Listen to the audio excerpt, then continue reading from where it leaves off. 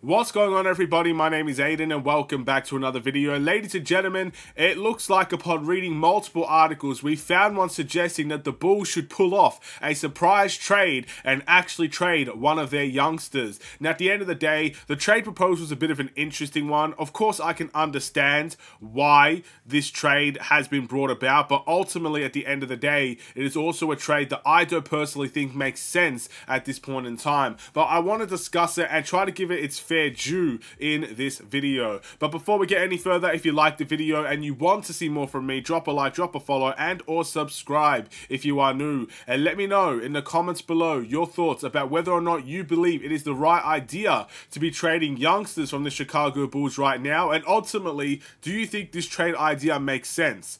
I can understand it from a certain point of view, but at the end of the day, I do question this article and I do question this type of trade. Nonetheless, the article is from Pippen Ain't Easy and it ultimately suggests that we should be trading Ayo Dosunmu, a Chicago-born, young, talented player that does have good potential in this Bulls team. Now, before I even get to the trade, I instantly have a red flag about trading Ayo Dosunmu at this point in time. Number one, we've gotten younger. And I feel like this is the wrong time to be trading players that could do things on both ends of the court. I'm talking about defensively and offensively. The last thing that we need is one-dimensional players. Ayo Dosunmu is anything but a one-dimensional player. He is a very good defensive-minded player. He's probably going to come in as one of our better defenders in this upcoming season. Offensively, he's getting better and better each and every single season. Deadly in transition, good behind the three-point line, and he even has a little bit to his floater game and his mid-range game, and it's only going to get better from here.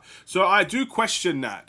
Maybe if this was, I feel like this, out of everybody you could have picked, this is the wrong guy to pick. If you're a Chicago Bulls fan, if you're the Chicago Bulls team. But ultimately, the reason why they probably mentioned Ayo Dosunmu over anybody else is because there would be nobody else that would actually get this type of player into Chicago. So without further ado, let's look at the trade. And basically, the trade suggests that we should be trading Ayo Dosunmu to the Milwaukee Bucks for Pat Connaughton and a second round pick.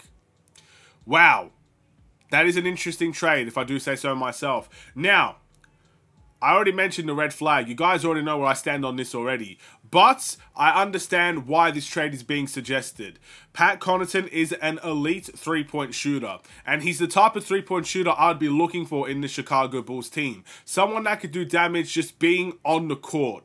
He doesn't need to touch the ball to uh, bring damage because he's so elite from the three-point line in the catch and shoot, moving without the ball. He's so good in those areas that even just him being there helps the Bulls offensively. I understand it from that point of view. And ultimately, if this was maybe two years ago, I would be much more interested in the trade than where I am right now.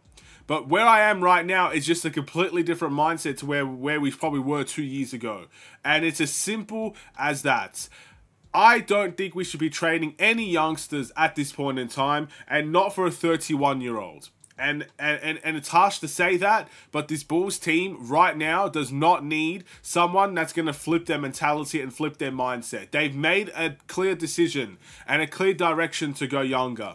They've done so almost with conviction. I feel like letting DeMar DeRozan go or a sign and trade with the Kings is a pretty big move and a pretty ballsy move, I would say. Then you've got trading Caruso for Josh Giddey. Not many people like that trade, especially since we got no first round talent uh, or first round picks, I should say, in return ultimately a ballsy move and one that we could potentially lose that trade. It's as simple as it gets. And then from then on in, we're still looking for trades for Vucevic and LaVine, I would assume. It just doesn't make sense to be adding a 31 year old and getting rid of one of our better two way players in this current Bulls team.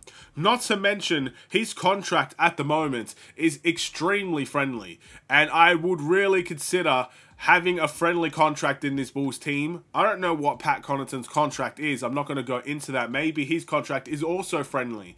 But again, I would rather have Ayo's contract around for the Chicago Bulls than anybody else's at this point in time. So ultimately, I think I just like Ayo too much to let him go. I think there's too many positives to let Ayo go. And not to mention, I still see a bright future for Ayo Dosunmu. I see really good qualities. I see good starting qualities. I also see great sixth-man qualities in Dosunmu. I see him being a guy that you could consider a glue guy. I can see him being a guy that maybe he won't be the best player on a Bulls team. Heck, maybe he will be. But ultimately, someone that's going to help you get wins just based on everything he could do on the court because he's multi-dimensional. And that is something I just can't, I just can't get rid of. Yes, I understand we need the different shot profiles. I understand we need the moving threes and we need the different shot selections. And yes, I truly believe if we get Pat Connaughton, he would make our team better. I truly believe that.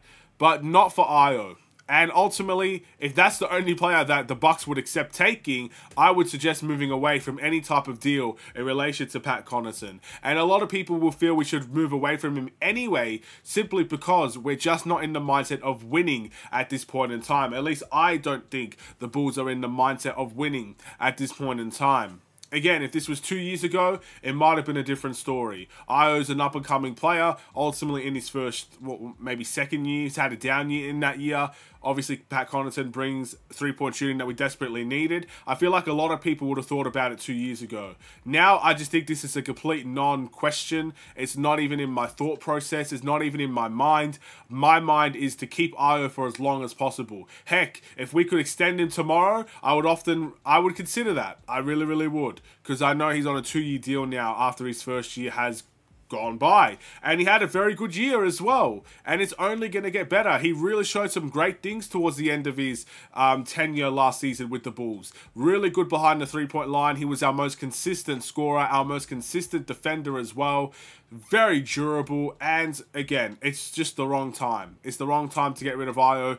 Um, he's one of the guys that I think we should be building around rather than looking at him not only for Pat Connaughton, but also for a second round pick. I think in future if you give it more time, I was going to be worth much more than a second round pick. Um, I understand he was drafted in the second round, but trust me, I think he is clearly a first round talent. And if we're going to trade Ayo, I would want to trade him for a first round talent. I think that only makes sense. So with that being said, thank you guys for watching. Do you agree with my take or do you disagree with my take? Um, let me know in the comments below, but feel free to drop a like, follow, and or subscribe if you are new, and I will see you in the next one. Stay safe, stay healthy, and stay tuned for more. Take care, and peace.